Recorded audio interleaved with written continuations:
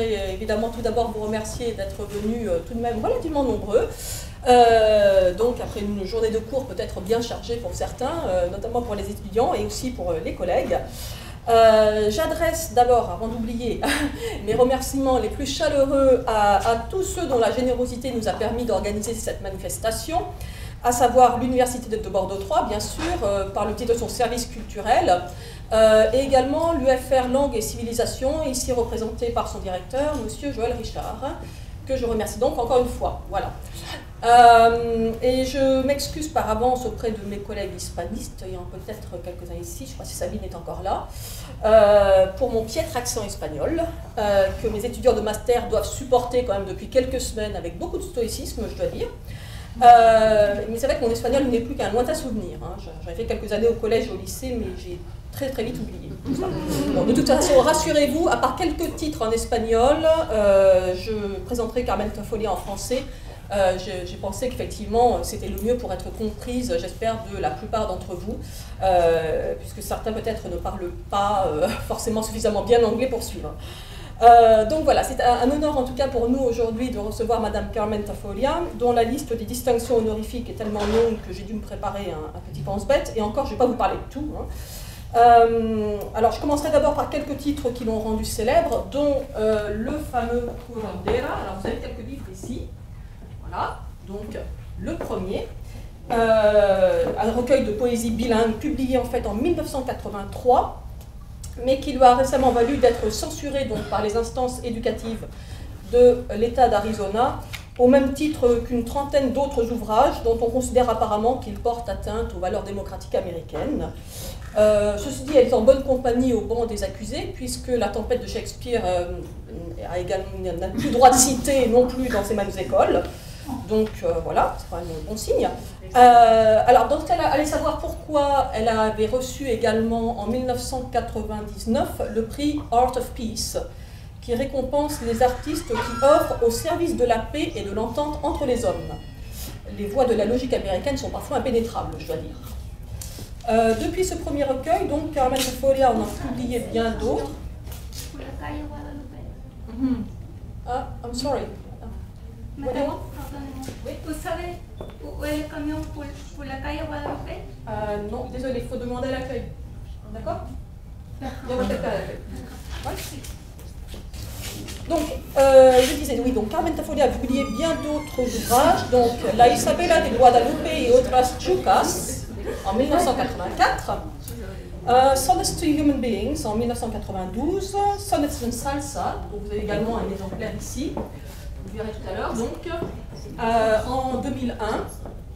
Et je vous recommande aussi tout particulièrement, par contre, ce petit recueil de nouvelles, euh, absolument superbe, donc The Holy Tortilla and the Pot of Beans, que mes étudiants de master étudient depuis quelques semaines et qu'ils connaissent bien.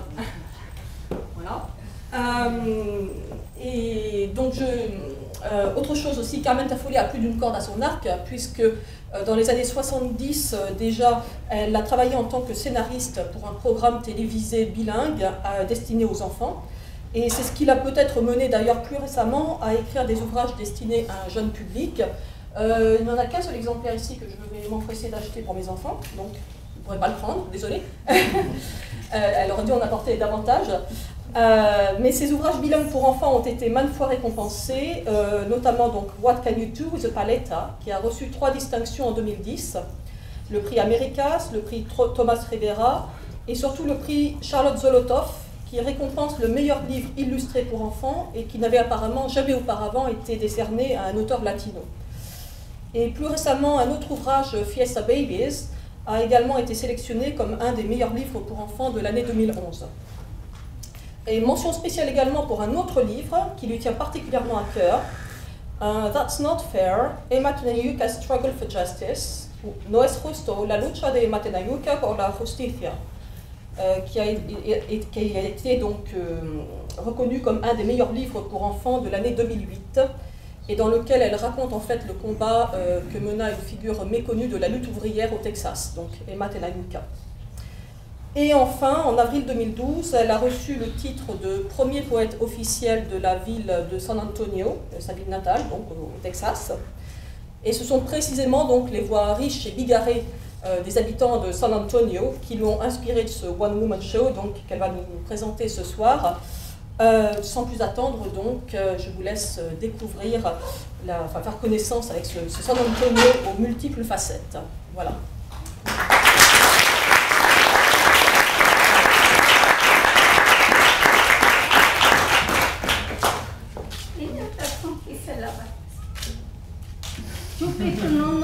Way is to go to La Calle Guadalupe, to bus stop. Oh. I asked, no one know. Oh, you waiting for the doctor Tafori, Tafari, whatever her name is. I don't go to doctor no more. I went one time, and you know what they do to me? They put me in this room. They call it a waiting room. Do you know what you do there? You wait and you wait and you wait, and by the time they call me, I was almost well already. I don't go to the doctor no more. Yo me voy a sentar aquí. Because si alguien tiene un carro, coche, you know, go car like that, they take me to my home in La Calle Guadalupe. Because you people going to wait so long for the doctor. You see how many people there are here waiting? Oh, by the time they call me la nurse, la enfermera, she take me to another room. And you know what she said to me there? She said, take off your clothes. Así me lo dice, ah. fíjate. Take off your clothes. Take off your clothes and put on this gown. It was not a gown. It was a piece of paper, un papelito and it was cold in that piece of paper. And I wait and I wait and I wait some more. And by the time the doctor come, I was sick all over again. no. I go to curandera. You know, the good kind, not the bad kind. The bad kind charge money. The good kind don't charge nothing. They take uh, little leaves, they make tea, you boil, they give you the leaves. You boil, you drink tea, you get well. The doctor don't give you nothing, they charge money. and then after you pay the money, they give you little piece of paper. Estos mm. gringos con papelitos, todo es papelito. it have to be little piece of paper. Now take the little piece of paper, you go another place, la botica, mm-hmm. where they give you, not give, charge with money, a little bottle of pills, little tiny pills that are made from the same leaves a curandera will give you for free. I don't. You wait for doctor, you get bored, bored, bored. Mm-hmm. Better we sing, we dance, somebody forget about doctor, get well, we all go en el carrito. I have tamalitos at my house, salsa, lo que tú quieras, ¿eh? eh mira, eh, I know how to sing. I sing just like a radio, mira. Todos dicen que la banda está borracha, está borracha, está, you don't know the song? I know another. It's a folk song about a little girl named Margarita or Macarena or something like that. I forget. Mm. No, I know another. It's stop in the name of love before you break my heart. Think it over. Think it over. that was my tia Sofia, my aunt Sophie. And my Aunt Sophie was weird, even in my family. My family was weird enough already. But Tia Sofia, she was even weird for my family. Mm-hmm. She was different. She was out of the box. She didn't fit the stereotypes. But then, how many of us fit the stereotypes? Mm-hmm. How many of us fit inside the boxes? You know the boxes, the ones you have to fill out at the beginnings of forms, the ones that say white, not Hispanic, black, not Hispanic, Hispanic, not Hispanic. You know, we don't fit because we're different. Each one of us a little unique, a little bit weird, just like Tia Sofia. Tia Sofia was plenty weird. Tia Sofia wasn't like my other aunts. My other aunts were a little more like what you expect an elderly Hispanic woman to be like, but Tia Sofia, Oh, she played the latest Motown hits and owned a record shop. Records, vinyls, you know, up on the wall, 33s, 45s, 78s, all across her wall.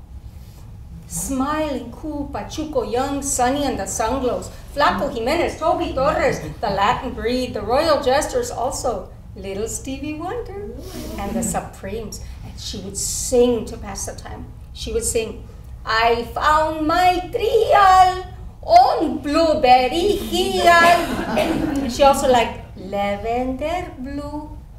It seemed to be her color, but in a bright flowered cotton print from Solo Serve. Uh, you don't know Solo Serve? Do do you know Foley's or Macy's?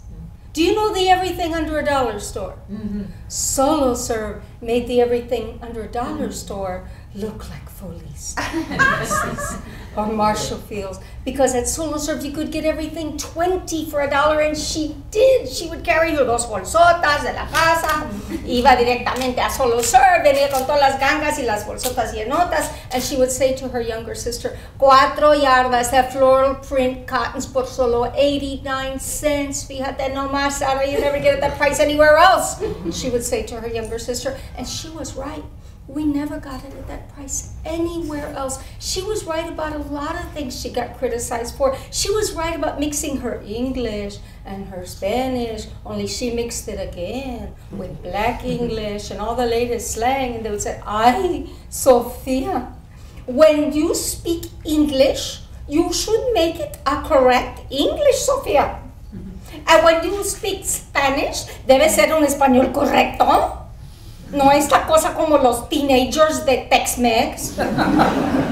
but Tia Sofia spoke it all. She mixed it all together. She sang her hits. She was so non-standard. The family was so embarrassed. They were especially embarrassed about the fact that my other aunts were all in church. Always in church. All of them in church. Anita, Sara, Fede. Y Sofia? Would say, Well, on Sunday mornings, mm-hmm. I play Tennessee Ernie Ford's greatest hymns mm-hmm. at the record shop. And she did, and she sang along, never learning that only singing in church counted. Mm-hmm.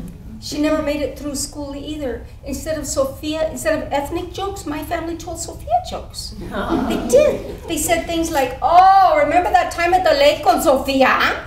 Oh, sí. Hey, Sophie, Come out of the water. It's raining. No, decía, porque me mojo. I'll get wet. They were always a little embarrassed by her lack of wisdom and her lack of piety. And after she died, they didn't know what to say didn't feel quite right saying she's always been a good Christian, so they praised the way siempre se arreglaba la, la cara, yeah. She would fix her face up with mascara and colorete blush, and she would dye her hair, sometimes black, sometimes red, whatever, pero, pero she took good care of her face.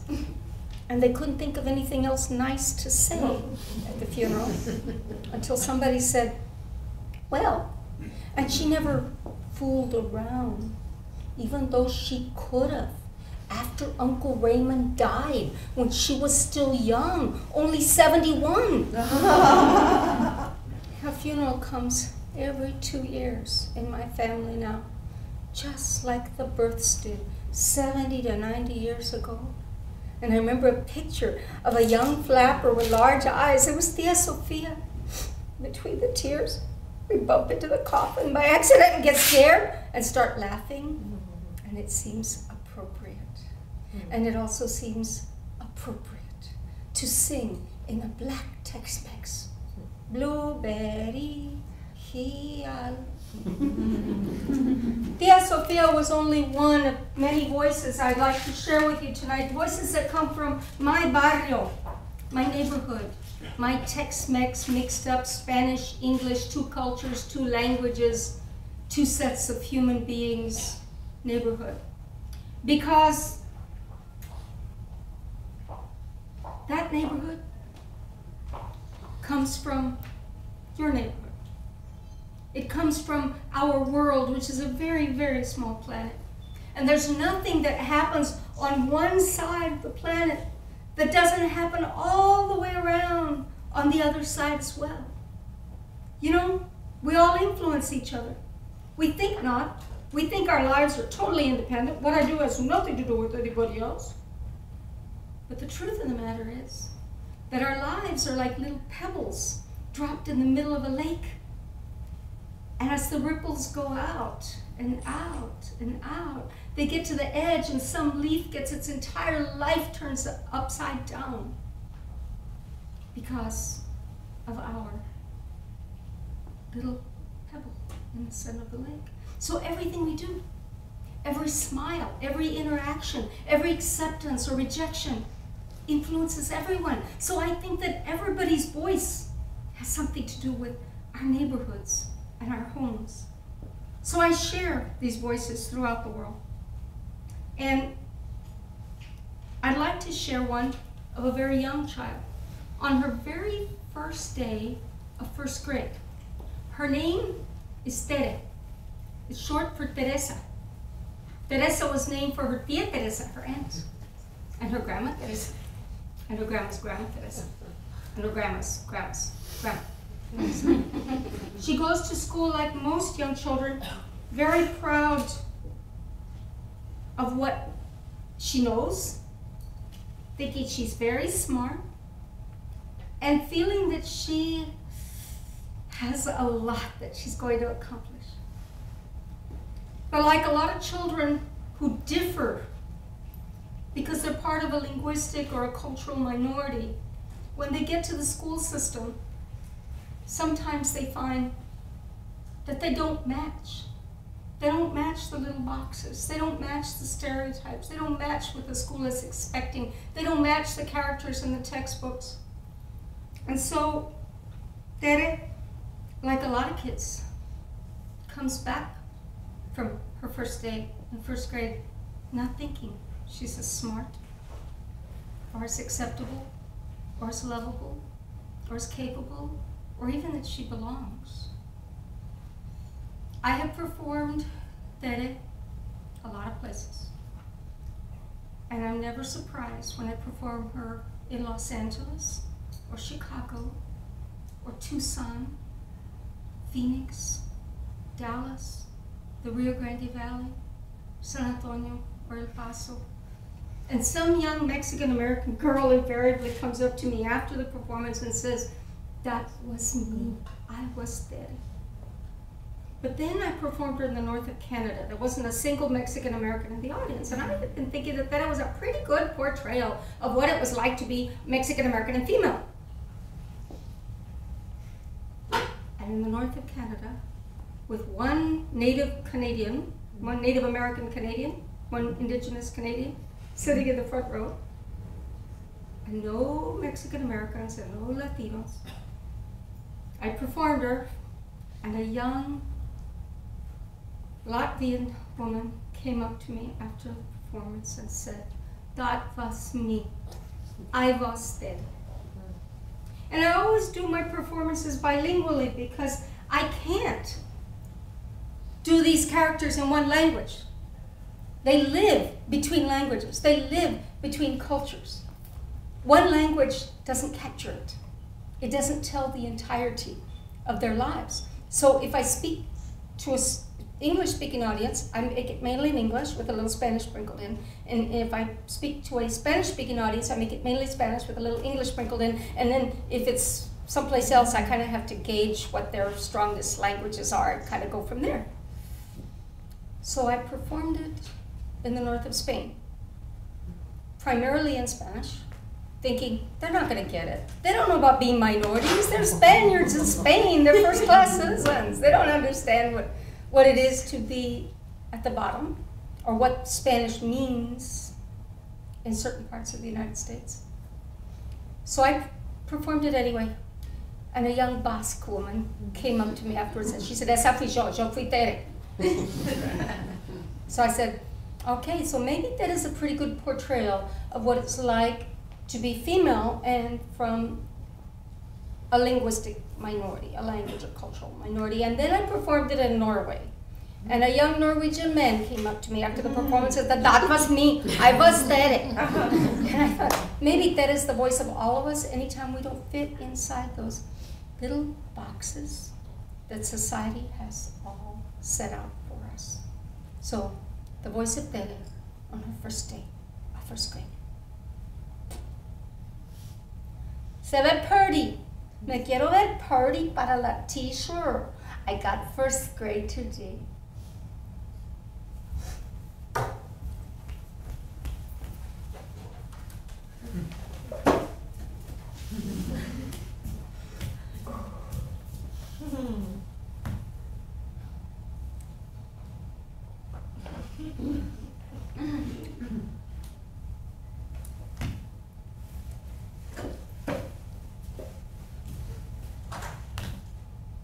Okay, Mom. Just let me finish the cartoons first. okay, Mom. Ahí boy. Bye, Mom. Yes, I'll go straight to first grade. Yes, Mama.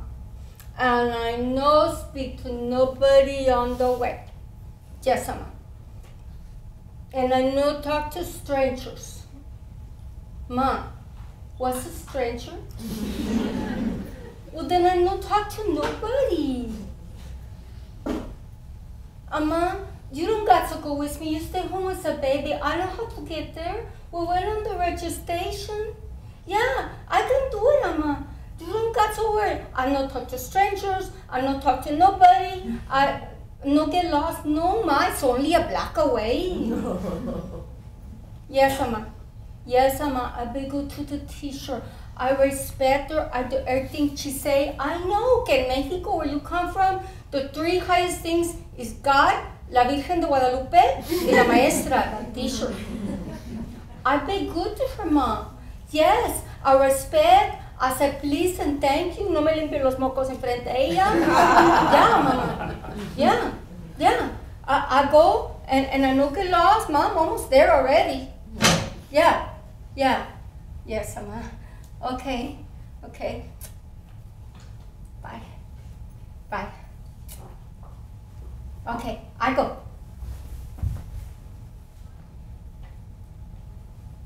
Hey. I go to first grade. You know because you're too little.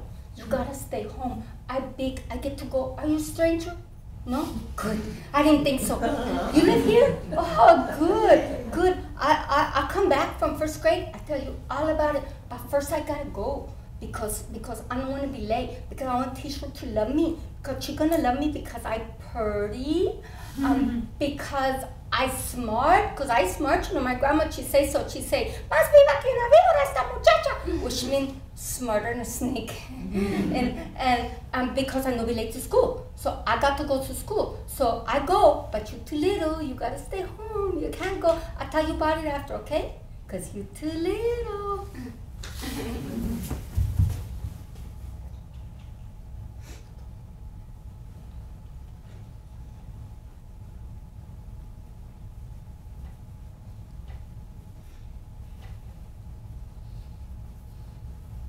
Hi.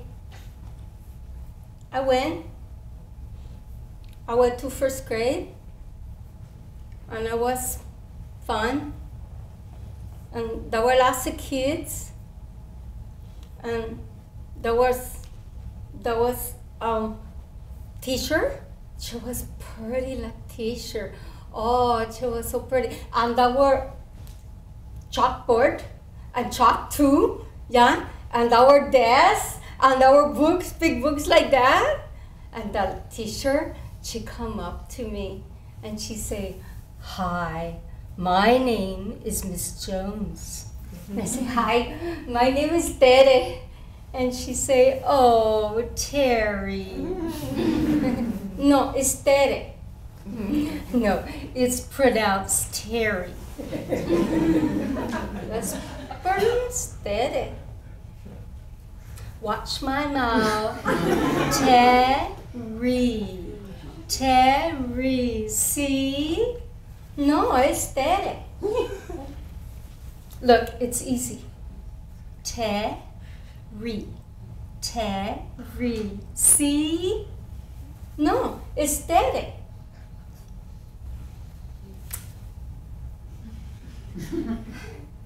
Terry. Terry. Tere. Terry. Terry. Yes, you got it. Tere. Terry. Okay, okay, it's three. Pero no importa, no importa. It doesn't matter because then that teacher she says something uh, uh, about us going to watch a movie because she, she said she have too many papers to fill out, so while she fill out the papers to watch a movie, so she let's watch a movie. It was so cool. It was called La Cinderella. And La Cinderella, she was smart, she was pretty, she was everything. I love that movie. That was so cool. I love the movie. And when the movie was over, they give you pictures to color and they give you the colors. Then they take them away, but first they give them to you. So, so I color mine so pretty. She have little blue stars on the eye like my big sister does. She have long black hair down to there like my big sister does. She looked just like my big sister.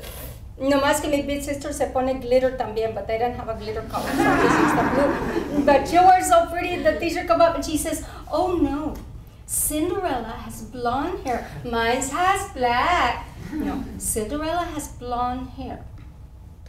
I'll take this away and you can do another one and do it right. Do it pretty, okay? And she take away my pretty picture, La Cinderella, the one with the long black hair down to there and the little blue stuff. See, I even look like my big sister without the glitter. Pero no importa. No importa, it doesn't matter.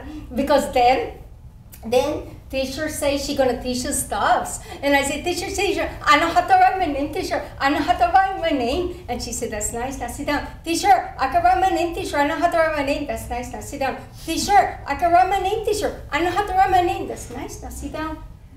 So she teaches us like how to sit down, how to raise your hand and lower your hand, and how the boys go one line and the girls go another. Pero no importa. No importa, it doesn't matter because then, then you could smell the food coming from the cafeteria. And I was hungry before lunch. I would go to the cafeteria because los boys in one line, in another. And we go to the cafeteria, está mucha comida. They have so much food that they give you these big plates they call trays. Eh? And you take your tray and you're gonna go get the food and you get up to the front and this lady dressed all in white like a doctor's office. Mm-hmm, mm-hmm. She said, three things. You put three things in your tray. Me asustó la vieja. She scared me. So I grabbed peas and prunes and casamol I got because she scared me la vieja. and I don't like prunes. and I don't like peas. No like casamol, but she scared me, so I got there fast. And I was hungry after lunch. Pero no importa. No importa, it doesn't matter because then we got to go to ET. Yeah? No. T. No. PE. Eso, eso. PE. We got to go to PE and you get your own coach like in the Olympics. And I said, hey, coach, you're my coach, coach. I never coached before, coach. I do whatever you want, coach. I run, I jump, I do the flipping floppies like in the Olympics. You want me to coach? Because I'm, you're my coach, coach. I never coached before. I do whatever you want, coach. Okay, coach? And the coach, he say, he say, now, wait a minute. We're going to run races first. coach, pick me, pick me. I run races fast. I run races fast. Coach, I want to run for you, coach, because you're my coach. I never coached before, coach. I want to do what you want me to do. Okay, coach? So you let me run racing. He said, now, wait a minute. We're going to let these boys over here go first, show us how to do it. Con que Juanito y Charlie were going to show us how to do it. You know Juanito? He lives down the block. He He's nice to me. Sometimes he lets me have a lollipop when he's not finished with it and stuff like that. he don't run as fast as I do, but the coach don't know that. So I want to be nice to Juanito. So they're running the race. So I say, ¡Córrele, Juanito! The teacher in the morning said we're not supposed to speak Spanish. I forgot. I just wanted to run. I wanted to feel good. So the coach he come up to me and he say, "This is the U.S. Speak English." Yes, coach. Yes, coach. Uh, run, Johnny. right? Pero no importa. No importa, it doesn't matter because then we got to go back to the class. And the teacher said she gonna teach us how to write our names. And I said, teacher, teacher, I know how to write my name. And the teacher, she say, I don't know how to write my name. She said, I put it all in something called capitums. She says supposed to be one capitum and the other's little. So I have it on my paper. It say Tere, D and an E, and I forget what call like that, and another E, and it was on my paper, and it say Tere. And she come up, and she writes my name, and she say, do it over, do it right. But it was disappear. It was like invisible. Y no importa. No importa. It doesn't matter. Because then at the end of the day, they play that game ese donde te tocan la cabeza, si te tocan la cabeza, tú rinca para arriba y say, hi, I better try that one like that, you know that one? And so when they touch me the head, I jump up and I say, hi, I did it. And the teacher, she say, Terry. And I said, oh yeah, I forgot. Terry. But then the teacher, she mumbled something about putting me in the slow class. I don't want to go into slow class and move around slow long. I want to run and jump with everyone else. Yeah. I got first grade again tomorrow. Pero no importa.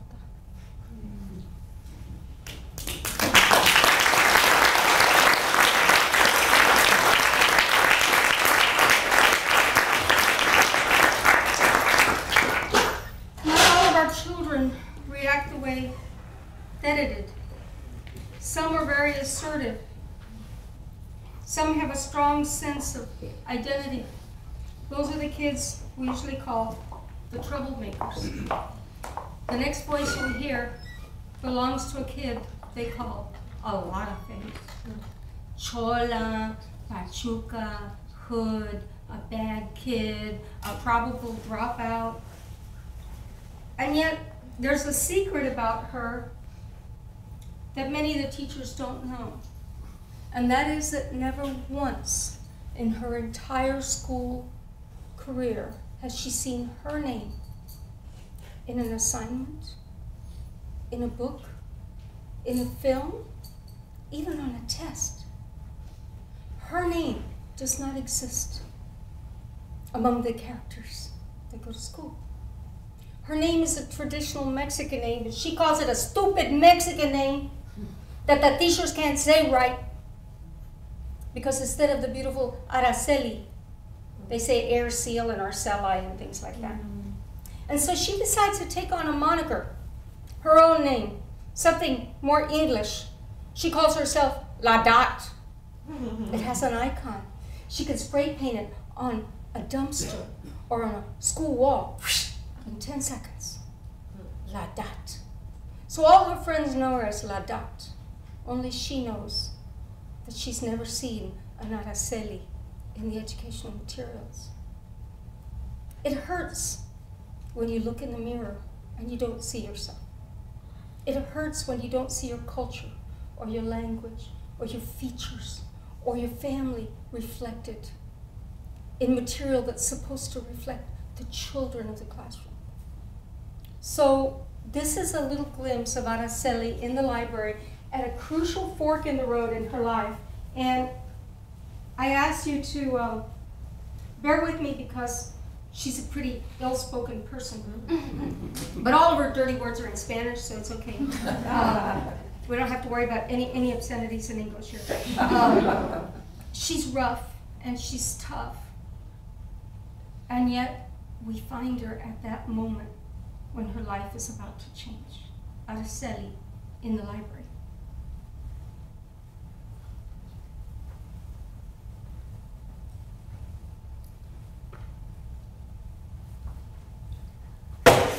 I'm not gonna do it.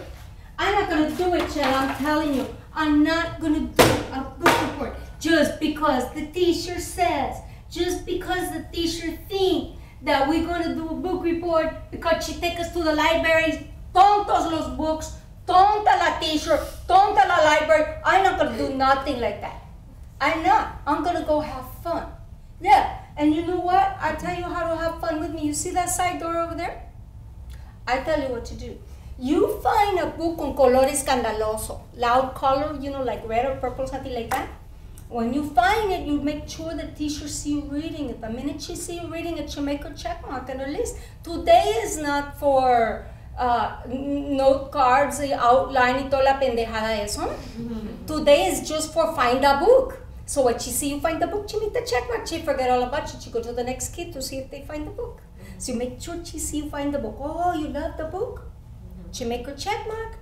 I meet you outside the side door. Nos arrancamos. We'll take off. We'll go to the Valero station. You know, we'll buy a, a Coke. Maybe nos venden cigarros. I look 18 sometimes. Yeah. and and um, we can do a lot of stuff. We can watch the guys que pasan in sus low riders. Hijo, tan bien cool esos. We can do a lot of stuff. And then we'll be back before the bell rings. The teacher won't even know. Yeah. Yeah. Yeah, you give me like 30 seconds, okay, girl? But remember, color escandaloso, loud color on the cover of the book. That way she see you fast. okay, give me 30 seconds. I'll meet you right outside. Okay, what you got here? White, black, beige. Ain't you got any good books in this library? Pale blue. Híjole. this will work. This is red. Yeah, she like it. She like it. Okay, teacher, I got my book. Oh, look at me, teacher. I got my teacher. Teacher, look this way. Mm, teacher, look this way. Come on, I ain't got all day. Quit talking to a librarian. He's not even cute. Come on, teacher. Chela's waiting for me. Oh, I love this. Teacher, come on. Pay attention. I'm your student, like.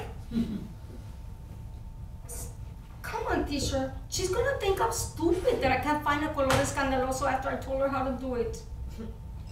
Come on. So what's the name of the stupid book, Eddie? Araceli's question. This book is called Araceli's question. It can't be Araceli's question in the notebook called Araceli's question. My name not a book type name. My name a stupid name. It don't show in books.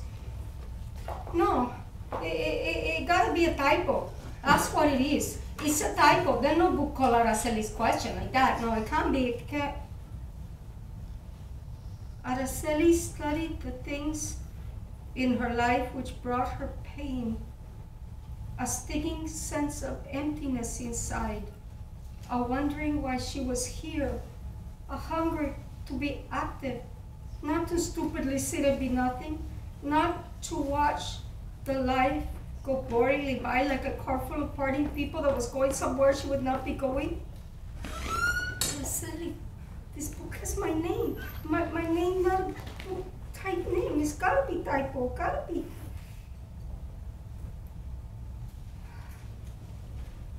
So, Araceli remembered her Saturday nights, her barrio full of life, the smell of toasted cebollas and chile jalapeño on the steaming comal, the sound of Don Chencho's beautiful guitar and Tomasi's boombox. On Saturday nights, her barrio was full of life, but on Monday mornings, Araceli's barrio was dull, sitting at the desk in one class, then a desk in another class, then a desk in another class that didn't speak her language, didn't see her face, didn't call her name. oh, shall I see? Araceli knew that. What? Eh, whatever. what, Chela? Oh, que the Valero station. Um, Forget the stupid Valero station and the boring Coke and the boring guys that passed by yesterday, bored, and passed by bored again today. Leave me alone and busy. Araceli knew that. What? Busy with what? Well, I'm just busy with something important. Yeah, so leave me alone. But Araceli knew that was so important. I'm reading. I'm reading a book. Yeah, I'm reading a book, so leave me alone. Araceli knew that she wanted to do something with her life. She just didn't know what or how.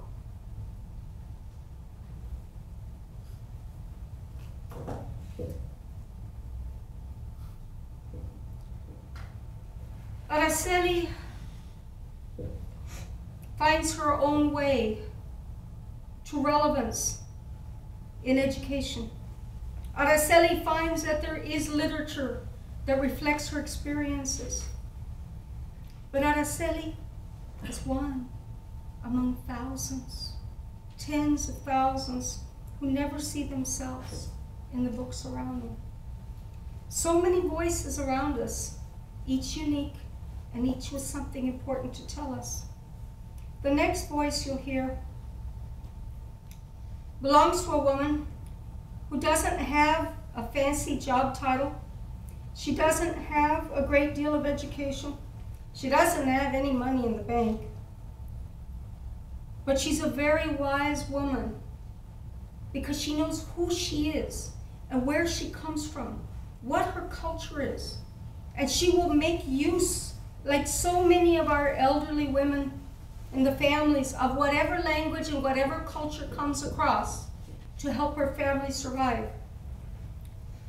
She lives in a society in the United States that is very instant oriented. We want everything fast, maybe faster.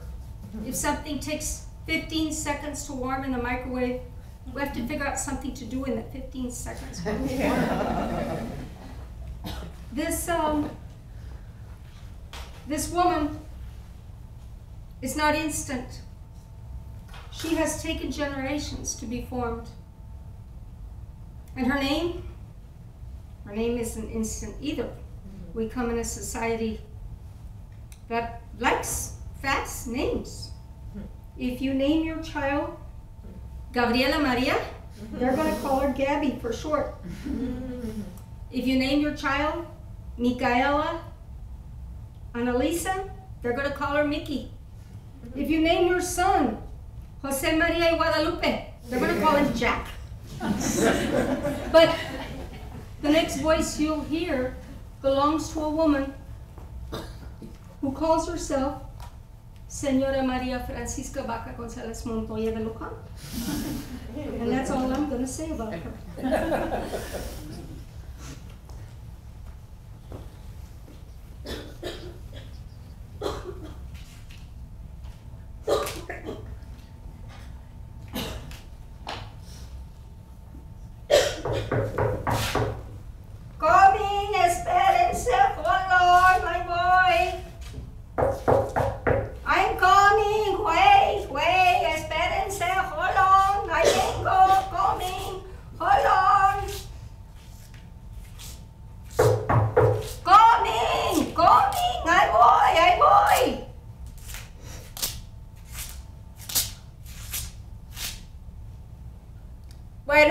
Jesse, hello, what you want? Survey?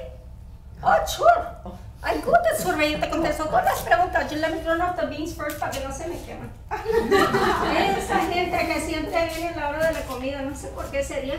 Porque no comen o porque no trabajan, quién sabe. Okay, mi hija. What you want to know? Name.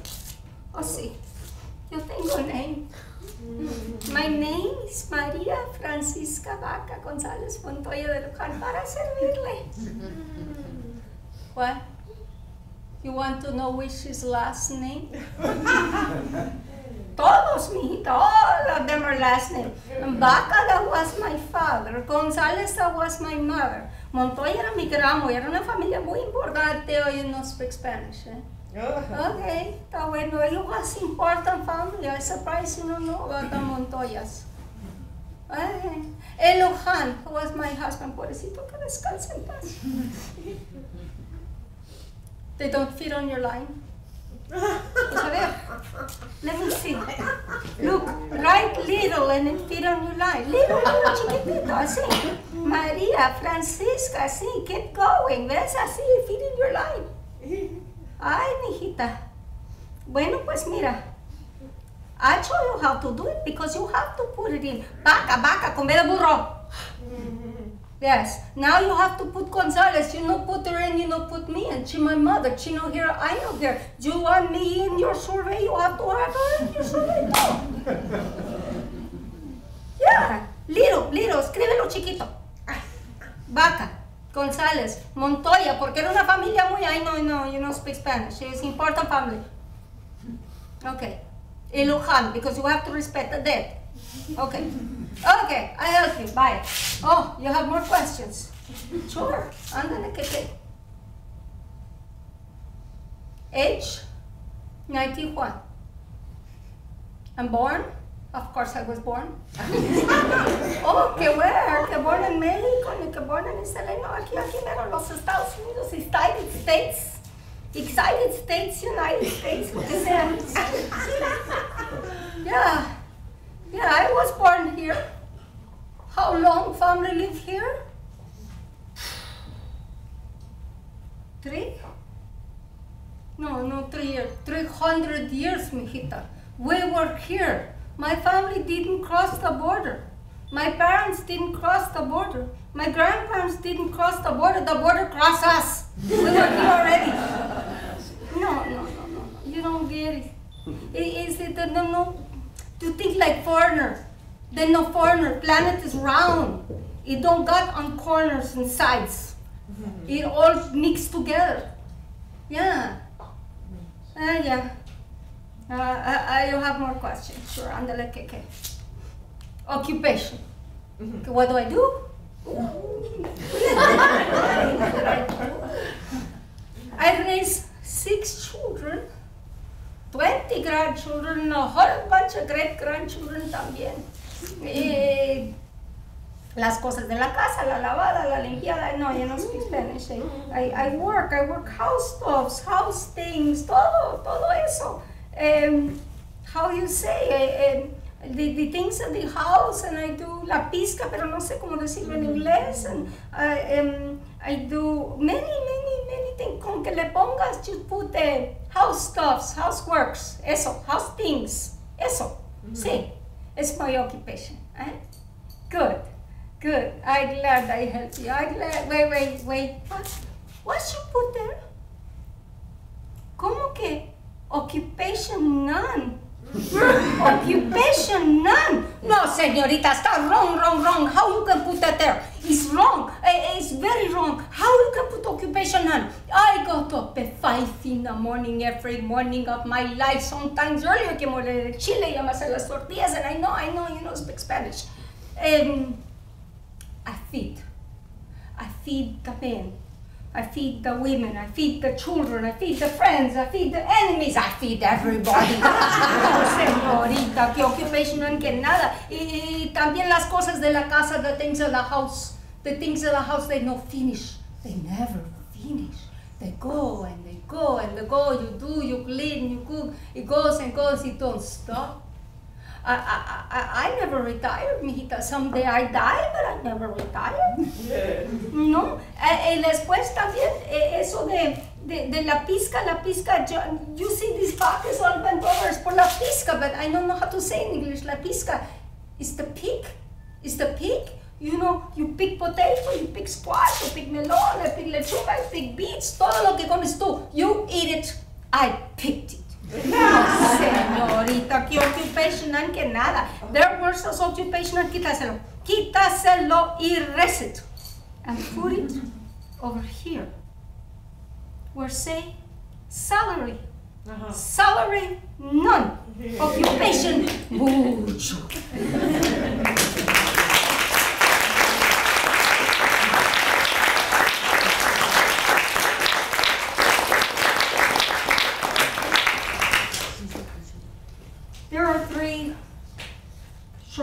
voices remaining. But there are thousands of voices. Voices all around us that have something to tell us about the value of being human, about the value of being unique, different, in between. We're all in between, whether it's between cultures or between languages, between emotions, between majors, between points in our lives. We're all between. The next voice you'll hear belongs to a young woman who's criticized a lot. Because, well, let me just say, her name is Heather Garcia. And while many people criticize her, I consider her a very brave young woman. So, very quickly, the voice of Heather Garcia.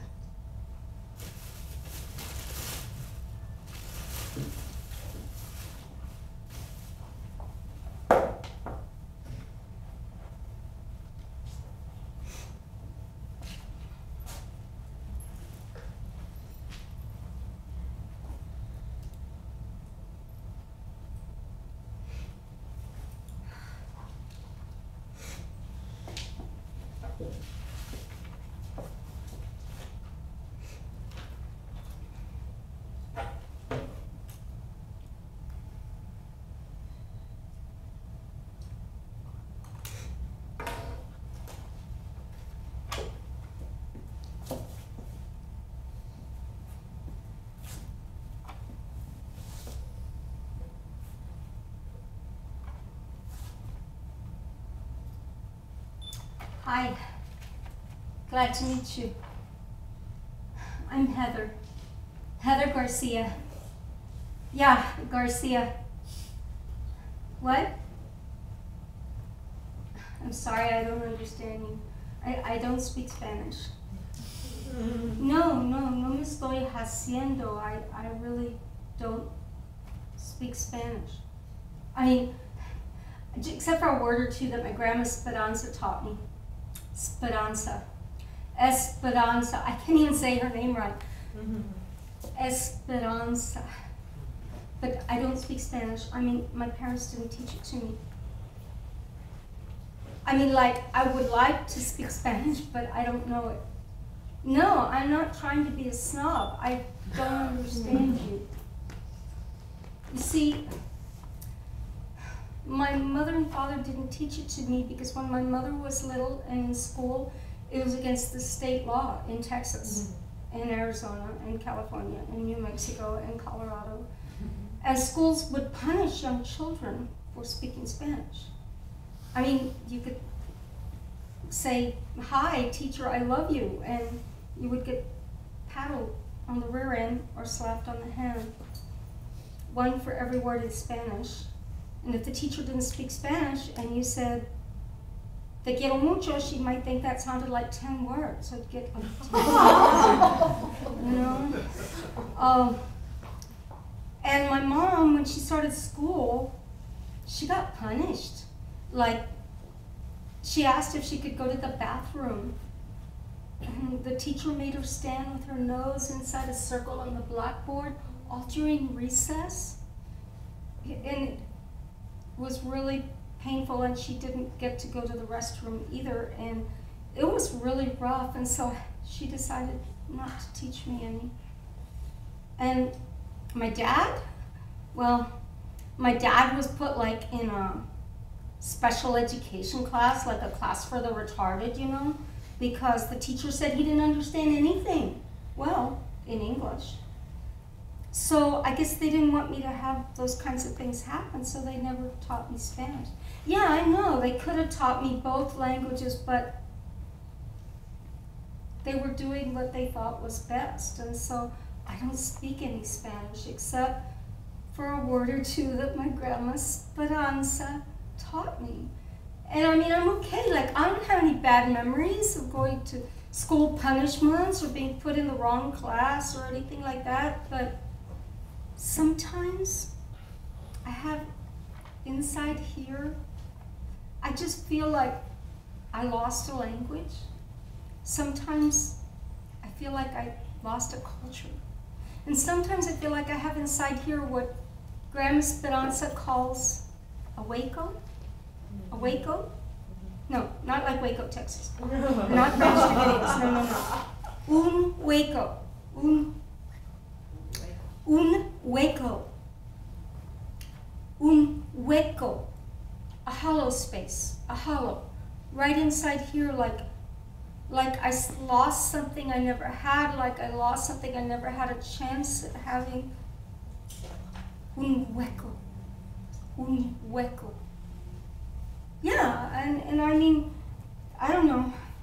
It just, Grandma Esperanza always says, no seas quejona, which is kind of like no crying over spilt milk. And she's right, no crying over what's already history. But still, sometimes I still feel it in here, like something was stolen away. Yeah, I got class in here next.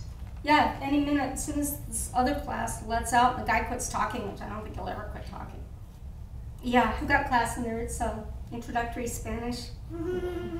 yeah, I'm learning Spanish. No, no use crying over spilt milk, but just because the bucket was spilled once doesn't mean you can't pour more milk in it. And that's what I'm doing. I'm learning Spanish. And this time, it won't get spilled.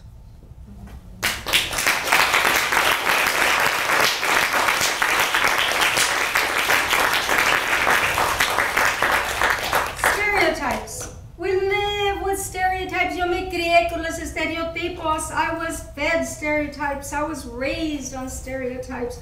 I was crushed with stereotypes. I was taught stereotypes. I was slapped with stereotypes. I was suppressed with stereotypes. I was defined with stereotypes. You're Mexican.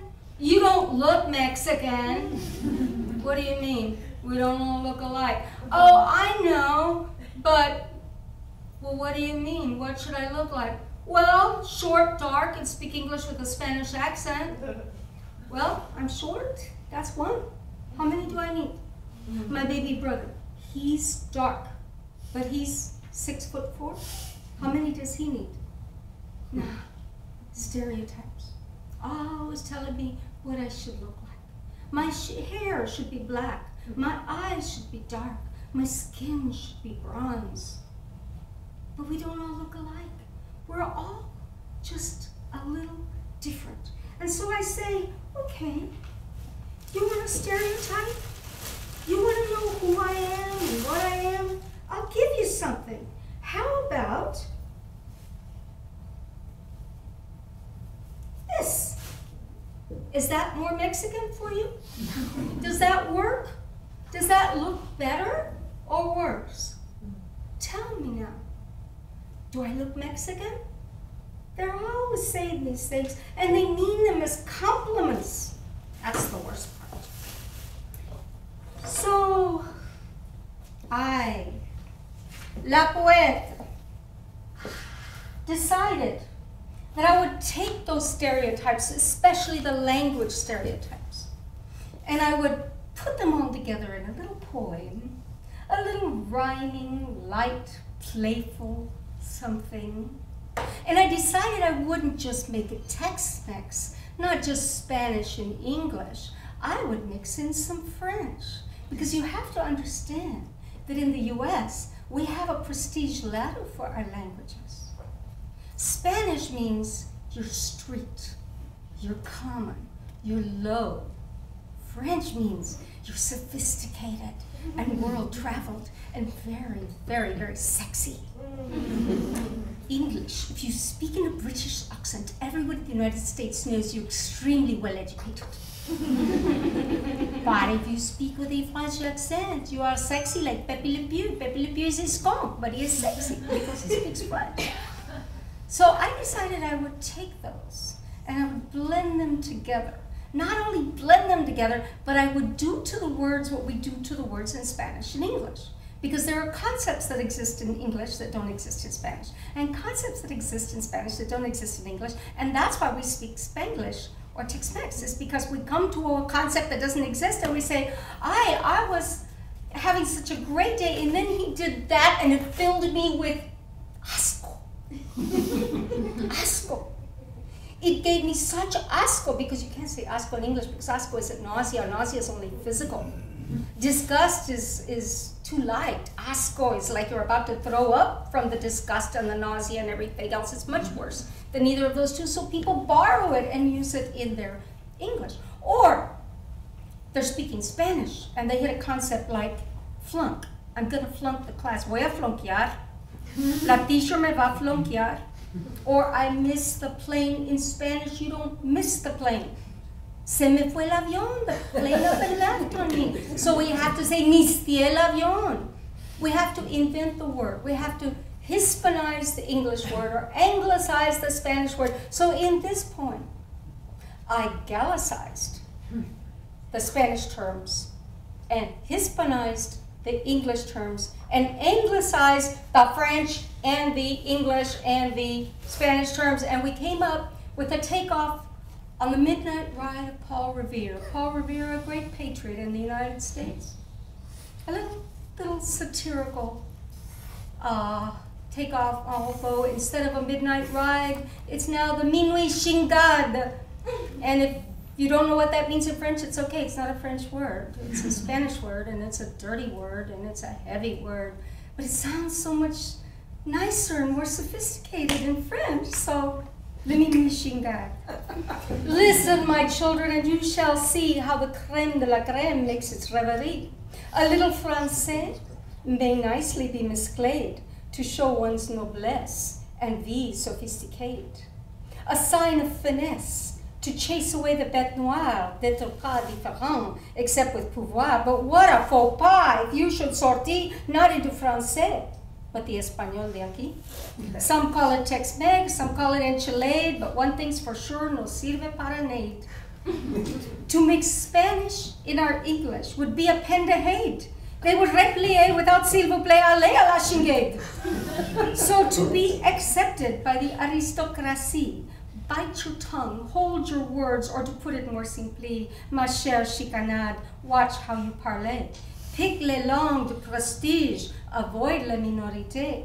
And if you believe this, pauvre, pas de problème. Mais pour moi, I must confide any boy que tout le même, every language has value. Da gusto l'ambiance. La langue, c'est moi.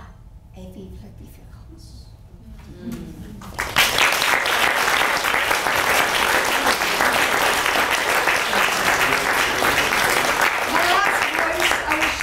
tonight you may find slightly familiar. It is the voice of La Conférencière.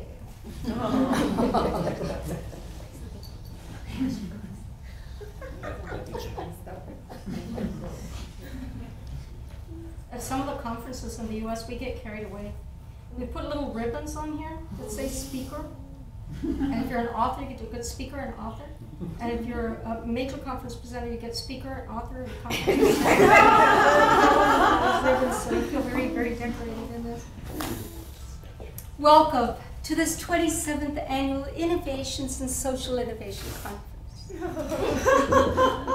Our central conference theme, diversity is empowerment, I would like to elaborate with a corollary which is diversity is authenticity.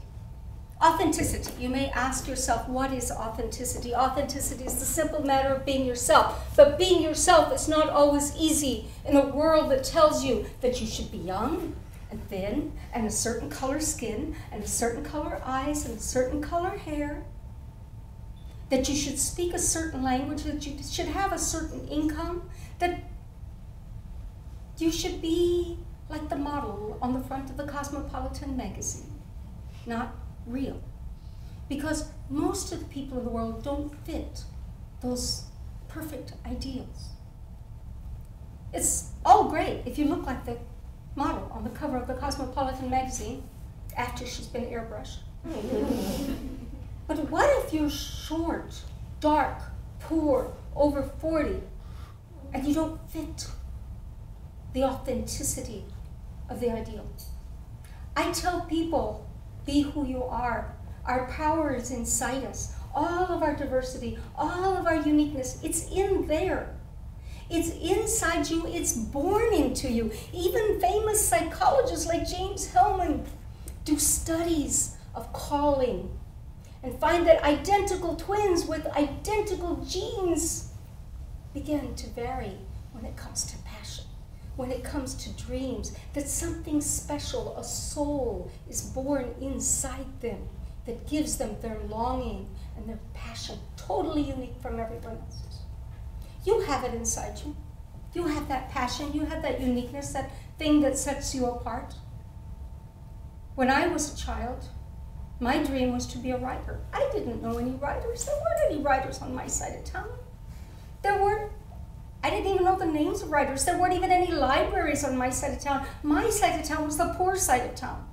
They didn't put libraries over there. They said, ah, those people don't even speak English. What do they need libraries for? And so we had no books. We had no libraries. I didn't know any writers and I wanted to be a writer. Where did that come from? I don't know. I wanted to be a writer. So when I was 11, they put a book at the uh, they put a library on my side of town, and I would check out five books once a week. My mother would walk me all the way to the library and back, and I would look. I would read the whole all five books, and I'd be done, and then I'd be bored. And I'd go back and I looked at I missed something. Was there something I didn't read? And yes, there is a boring page in every book. It's right behind the title page and has little fine print. On it and it says things like ISBN colon 0 dash 916 dash 10 dash 6 Wings Press. Doubleday, New York. Random House, New York. Little Brown, New York. I began to think that all books came from New York. Yeah. I began to think that if I wanted to be a writer, I had to write like the people wrote in those books and about the things that they wrote about, and I had to go to New York. So I tried. I tried to write my first novel. I was 11 years old. And it said one day, while walking through the middle of Central Park, comma, in New York, comma, and that was it. I was stuck. That was the end of my first novel. I had no idea what could happen in New York. I had never been to New York. I had never seen Central Park. I thought, too bad. If only I'd grown up in New York, I might have something to write about. I have nothing to write about. I've never been to Central Park. We don't even have a park at the end of my block like they have on those fancy neighborhoods on TV. At the end of my block, instead of a park, they had a tortilleria, a tortilla shop, where an elderly woman would make corn tortillas for a penny each. And you would go up the steps past this screen door that said Rainbo bread is good bread. They didn't have any Rainbo bread, but it was a good screen door. and you would go in, and this old, old woman, the oldest person I had ever seen still breathing, would come up towards the counter, and she would get to the front counter, and the little kid from down the block would cut line in front of me mm-hmm. and say, put seven pennies on the counter and say, siete tortillas, por favor. And she would start to count out those seven pennies because it was a penny per tortilla, no tax, no nothing fancy. If you had 18 pennies, you bought 18 tortillas, and if you had seven pennies, you bought seven tortillas. It was very easy. And as she looked at those pennies and counted them all, I watched her go Oh no! Dos. It was going to take a long while. and I looked at her face, and her face was brown and wrinkled. It looked like the mud puddles in San Antonio in the summer when it hasn't rained for a long while and, and they're cracked and dry. These charcos are little brown squares of caked dirt. That's what her face look like? It looked just like that. And I said, I know why she and the dirt look alike. She's the oldest breathing creature on the planet. She and the dirt are the same age. That's why they look alike. And then she said, Tres. and I looked at her hair. And the sunlight was coming in through the window. And her hair was so white that when the sunlight hit it, it looked like they were sending these rays back and forth, vibrations. They were communicating. they were saying, hey, are you doing this century? Okay, last siglo tayo gacho, híjole. Oh mm-hmm. man, too bad to hear that. You know, they're talking to each other. They were good buddies, and I said, I know why they're good buddies. They have the same birthday. Mm-hmm. She and the sun. She is the oldest breathing creature in the solar system. That's why. And then she kept on counting until finally she got to siete. And I looked at her hands. And her hands didn't look like they were made out of hands. They looked like they were made out of the corn masa that she'd been working all day long to make those tortillas. And I said, She's older than Mexican food. No civilization would be possible anywhere in the universe without Mexican food. She must be the oldest breathing creature in the universe. That's what it is. And she counted off the seven pennies, put them in the pocket of her delantal, and turned around to yell to the back of the house because it was not a store like a store store, it was a house where they lived in the back and sold tortillas in the front. And she called for a little help because when you're the oldest breathing creature in the universe, you deserve a little help. She turned around so slowly, apenitas, apenitas, and she yelled, Mama.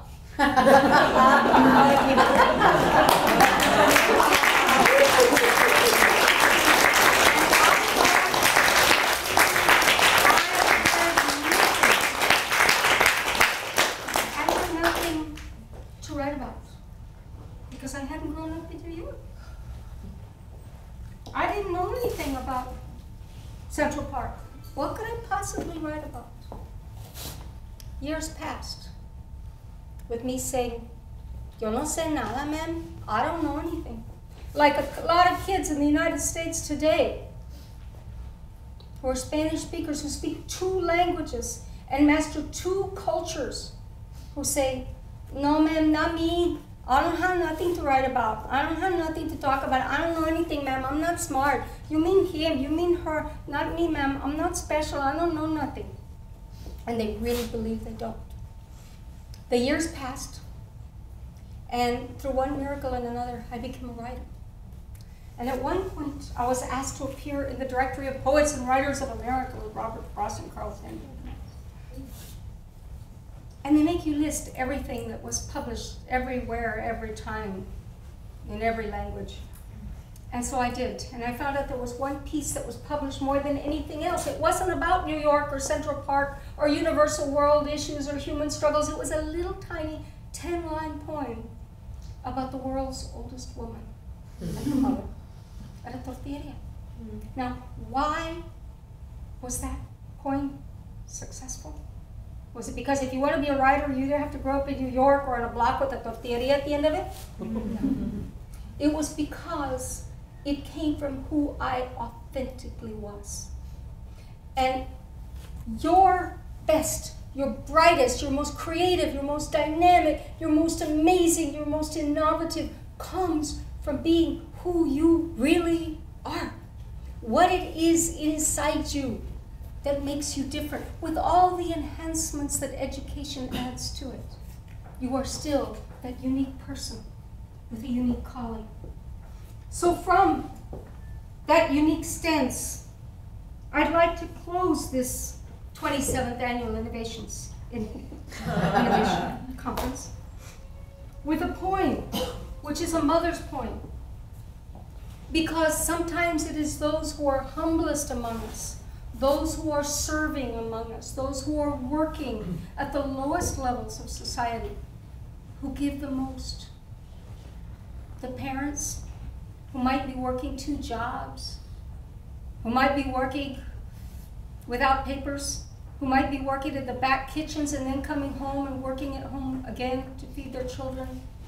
It is they who give us the next generation because they are giving us survival for our children, for the next generation. This is called Feeding You, about the simple act of nurturance. And it uses a few Spanish words in there. Some of them you'll know, some you won't. The ones you have to know are mijo and mija. And if you've never been called mijo or mija, you have now been called mijo or mija. It means my son, my daughter. It's a form of being kind and caring and nurturing to another. It's not just used on a child, it's used on other people. And she uses this term, mijo, mija, mijos. And the other term you need to know is herencia, which means heritage, because language is part of our heritage. Language is not stiff and unchanging. Language is dynamic. Language is always moving. But even in its movement, it carries forward the seed of its inheritance. So feeding you. Dear mijo, dear mija, I have slipped chile under your skin, secretly wrapped in each enchilada, hot and soothing, carefully cut into bitefuls for you as a toddler, increasing in power and intensity as you grew until it could burn forever. Silently spiced into the rice, soaked into the bean caldo, smoothed into the avocado, I have slipped chile under your skin, by fiery drop, until it ignited the sun altar fire in your blood. I have squeezed cilantro into the breast milk, made sure you were nurtured with the taste of green life and corn stalks, with the wildness of leaves, of untamed monte, of unscheduled growth. I have ground the earth of these Americas in my molcajete and sprinkled it surely into each spoonful of food that would have to expand fit your soul. Dear mijos, dear mijos, dear corn, chile, cilantro, mijos, this is your herencia. This is what is yours. This is what your mother fed you to keep you